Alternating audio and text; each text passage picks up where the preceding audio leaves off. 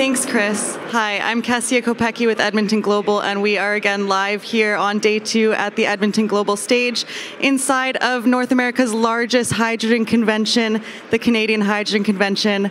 I'm here with Jörg, Terri, and Cory.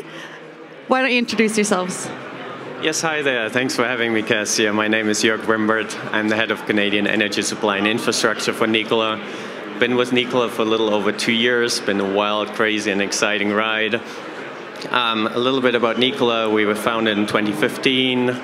Um, you know, we, we produce battery electric and hydrogen fuel cell trucks. Um, we have a, we are headquartered in Phoenix, Arizona, and um, we have a manufacturing facility in Coolidge and one in Ulm. And yeah, I'm just really excited to be here, really stoked. Terri? Hi, thanks for having me here. Kessia Terri Johnson, Alberta Motor Transport Association. We're representing the commercial transportation industry and carriers in the industry. Amazing. Cory Shumaker, Head of Business Development for uh, Motors. We are based out of uh, Chicago, uh, also offices in Detroit and in New York. I'm personally based in uh, Los Angeles, uh, a little sad from last night. Um, it's been an exciting run for Hyzon in the past few years. Been with Hyzon for three years. We started in 2020. Um, I like Nikola, Class 8 uh, hydrogen fuel cell trucks, and it's been a pleasure to, to be a part of all this happening in Edmonton. Awesome. Well, I think all of you have something very much in common. Uh, back in February, I believe it was February 10th, AMTA officially launched their demonstration projects. Terri, why don't you tell us a little bit about that? It's pretty exciting. It is amazing. So AMTA is honored to work with both Hyzon, Nikola. We're also working with Hydra, and what we're doing is we're introducing the commercial carriers to these technologies, allowing them to trial them in their business operations, and then from there, the trials are giving us data on how the vehicles operate in Canadian winters with Canadian weights and Canadian ranges. Awesome. And what are your two roles in it for Hyzon and Nikola? I know I saw some of your technology at the demonstration. Can you tell us a little bit about, about a little bit more about it? Jörg, I'll start with you. Yeah, absolutely. Yeah, we're super excited to bring our hydrogen fuel cell truck up. Um, we're intending to bring ours up for the roadshow in September. It's going to be there for about a year. You know, trialing like 60 carriers, I think. We have trialing our truck. Um, yeah, it's a it's a fuel cell truck. We're intending to launch it, putting it in commercial operations by um, the end of this year. Um, it's a it's a six by two truck. Um, it has a range of up to 800 kilometers. It has 70 kilograms of hydrogen. Um, it holds uh, 700 bar or 10,000 psi pressure. It's a cab over design lots of visibility on the truck, um, you know, so we're really excited to bring this truck forward to this market. And I think this 5,000 vehicle challenge that we had, that you guys shared, I think it's going to be really cool to, to be part of all of this. Thank you. I'm sure Nikola's very on board with having 5,000 vehicles on roads in Western Canada. Cory, do you have do you have anything to add? Yeah, of course. So uh, we're also really excited about the fleets that are going to be testing our truck. So far, we've done uh, KAG and Bison and uh, Highway 9, and currently with New Way. Uh, so our truck's been running since the end of January. Uh, I think we're up to nearly 4,000 kilometers traveled, or uh, something like that, on commercial with commercial loads on Canadian roads, which is really exciting. this will carry through into the summer, likely through the end of July, and so you know, it's a great opportunity for us to get that feedback, and and it was a great opportunity in the winter uh, to really put it through the paces of uh, cold weather testing uh, that you can really only do up here uh, in Edmonton, where it gets you know down to minus 40. So, for any uh, fleet operators that are interested in demonstrating this, is there a process or are companies still able to get into this program? Absolutely. We've got 60 carriers currently signed up for the hydrogen vehicle demonstrations. But if you go to the AMTA website under Research and Innovation, we have uh, an application that you can fill in, and then we will get back to you. Awesome. Um, Okay, um, so I also am really curious as far as the fuel cell technology. Um, I know lots of people here at the convention probably know a lot about hydrogen and fuel cell and dual fuel technology. However, what about our listeners and our viewers online? Um, can you tell us a little bit about the difference between fuel cell, electric, hydrogen powered, um, and where your technology fits into that? Yeah, absolutely. Um, so. So yeah, at Nikola we have a battery electric truck that is actually has been in commercial production for over a year now, and you know we're excited to have that on the road. Um, and fuel cell truck, like I said, we're launching later on. But the difference is they're both electric trucks, right? So they both basically have an, an e-axle and an electric drivetrain that, that moves the truck, propels the truck forward. Um, the difference is that for the fuel cell truck, the hydrogen fuel cell truck, you have hydrogen fuel in there, and then that produces the electrons that then get fed to a battery, and then that battery drives the e-axle. So there's still a battery in between, but much smaller batteries, right? And and so they they both have instantaneous, you know, power. It's um, you know the feedback is that they're very people are very excited to drive them. They're very smooth. They're very silent, and I mean the the big advantage is they only have water coming out the back, right? It's steam, water vapor, right? And that's that's the big one. So they're zero emission vehicles. You avoid about 106 tons of CO2 per year with them.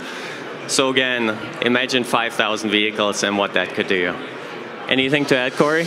Sure. No, I think you did well. So it's exciting to see the zero emission technology uh, on the roads. And, and, again, as, as George mentioned, it's just water vapor that comes out of the, the, the tailpipe. Uh, and the, the, key advantage for a hydrogen fuel cell vehicle is you're carrying your energy in the form of hydrogen molecules, which is the lightest element in the universe. And so when you compare that to batteries, where they have to carry their energy in you know a solid form in the batteries and lithium ion and other chemistries, as you add more energy, you add significantly more weight. Whereas with hydrogen, you know, when you fill up your tank and you're adding you know, 50 or 70 kilograms of hydrogen, it's it's really not the, the hydrogen itself that weighs anything more than 50 or 70 kilograms of added weight. There's some tank weight and some structural weight, but that does, that pales in comparison with the amount of weight that you would need to go the same distance with a battery electric. So therefore, you know, we're going, you know, uh, 300 miles or 500 miles range uh, with with fuel cell uh, versus battery electric, which really, uh, depending on the manufacturer, can go anywhere from 150 miles, you know, up to 300. Um, but it's it's it's really heavy. Uh, and the fact that you lose payload with those heavier uh, battery electric truck weights because you can only carry a certain total amount between the tractor and the trailer and the payload. So when your tractor weighs thousands of pounds more than it should, then you're losing thousands of pounds or you know tons of kilos from your payload. So that's that's one of the biggest advantages of the fuel cell vehicle over the battery electric vehicle is the payload increase. So essentially you're saying for these vehicles when the fuel cells or the way that we're carrying the fuel is lighter, then that means that we can carry more product, exactly. do less trips, save more fuel, save more money, right? Yeah, and and the big advantage as well, if I could jump in, is. Um, is that the refueling time. I mean, battery electric truck takes a lot longer to refuel, right, so to speak, or to charge. Uh, with a with a hydrogen truck, it takes less than we're aiming for less than 20 minutes to have it to have it refueled, and you have mobile refueling stations as well that we're offering on the Nikola Energy side, you know, which basically refueling station on wheels, so you can deploy them in remote areas as well, remote communities, and all of that, and I think the big thing as well is the range, as, as Cory was saying, you know, you can have like our truck up to 800 kilometers, but overall, that's, that's where you can start connecting different cities, right? Calgary, Edmonton, Lethbridge, Medicine Hat, whatever. You can create those corridors, whereas battery electric are more for short haul regional applications, return to base. Okay. That's awesome. So, Terri, I was just wondering as well your input as far as AMTA. I know you have members all over Alberta. Does that go further through Western Canada or is it just Alberta? Well, our members are based in Alberta, but a lot of our carrier members are international members. So they're the Bisons, the Trimacs, they're all across Canada and into the States. GFL, another company, they're across North America. So our, the trials are focused here in Alberta to start. Um, as we have more resources and more energy, we'll expand it out across Alberta and then across Canada. And what kind of feedback have you heard from your members so far with the demonstration? I know it's still very new, but um, I imagine it's also very good feedback. But can you be more specific about what people are saying and what people's outlook is about this? When we started with the hydrogen vehicle demonstrations, there was very little information about fuel cell electric vehicles, and it's still something that is limited, is the data and understanding not only what the brochures say the vehicles are going to do, but what the vehicles actually do. So now our carriers are finding out how these vehicles operate in their loads. They're finding out how they're going to have to do transitions to their current business operations in order to incorporate these vehicles and how they're going to be moving forward with a zero emissions economy. And what are some of the problems or challenges that you find maybe we might run into in this transition? Fueling. Fuel. Fuel definitely. Fuel supply. Yeah. That's number one. Cost of fuel would be the number two. Um, and then there's simple things like even training for first responders, training for mechanics to be able to support the vehicles, um, mechanic programs through NAIT with Agatha, who was just here, making sure we have those services for industry built out, not only the actual vehicles and the hydrogen supply and the regulations. So it's a whole economy we're building. Yeah, there's definitely a lot of moving parts. Um, Agatha's actually going to be joining us in a few moments too, so we'll get to touch a little bit more on on the educational training aspect. Jörg, do you have anything to add? Sorry, Jörg. It's all good. It's a German name. It's a tough one. It even has two dots on the O. Um, but yeah, so what I want to add there is, you know, the whole regulation and permitting, and I, you know, I've talked to a lot of people already about this.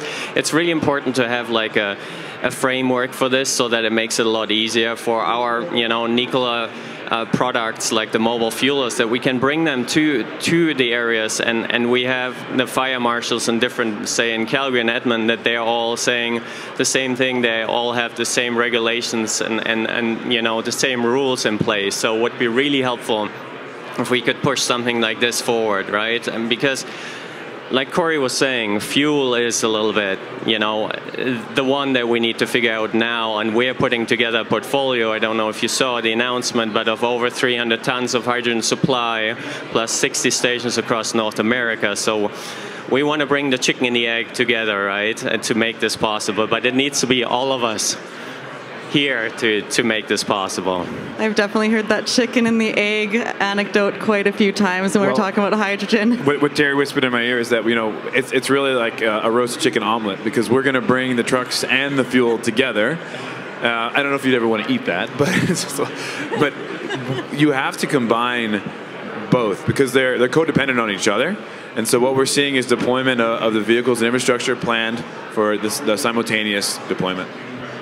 Well, great. Thank you all so much for joining us at the Edmonton Global Stage today. It was really nice getting to know all of you, learning about the projects and what you're doing to really accelerate the transition of commercial transportation in Western Canada to hydrogen. So thank you again. Is there anything you'd like to leave the audience with?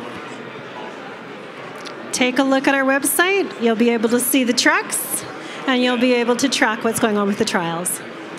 And I also wanna would like to leave with uh, first of all saying thank you everybody. I think it takes all of us again to make this possible. So shout out to Edmond Global for doing such great work. A shout out to the to the Transition Accelerator. You know they're doing fantastic work. David Layzell, Mark Lear Wilson, you know Dinara and team, the AMTA, fantastic job. And a separate applause to the AMTA because they are actually walking the talk and they have just purchased our battery electric truck and our, and our fuel cell truck. Um, so one each, and so we're very excited to see that on the road right now as we speak. It is really exciting. Well, thank you again so much.